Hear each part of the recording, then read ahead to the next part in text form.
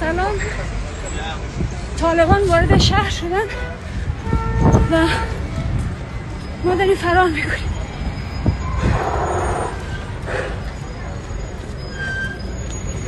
مردم همه ترسیدن.